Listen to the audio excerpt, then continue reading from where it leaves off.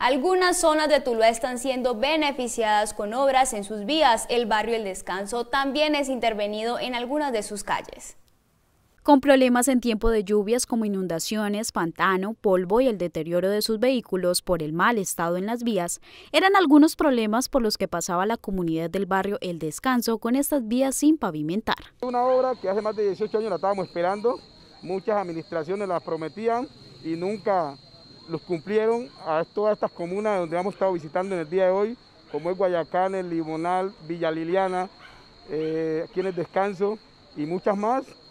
También tenemos por la calle 28, parte céntrica de nuestra ciudad, que también estaba deteriorada. Nuestro alcalde también tuvo ojo para esa.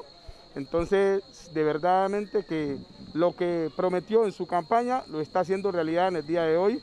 Estas obras tendrán una duración aproximada de 80 días.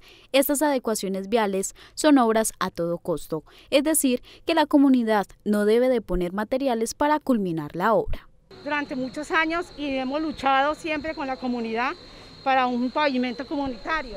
Siempre era, si no teníamos una parte del cemento, pues siempre nos daban la espalda. Las administraciones pasadas siempre nos ponían como pañitos de agua tibia, ¿no? La, la vía nos va a cambiar porque ya no es que nos van a, eh, cada vez que llueva nos vamos a, inundar, porque aquí siempre nos inundábamos.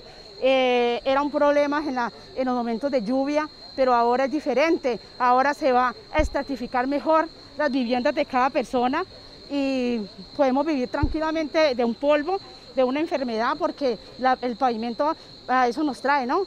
Nos trae soluciones, tanto personal como en la vida cotidiana. Estas intervenciones iniciaron también en otros barrios de Tuluá, como el barrio Guayacanes, zona céntrica de Tuluá, y próximamente iniciarán en el barrio San Benito de la ciudad.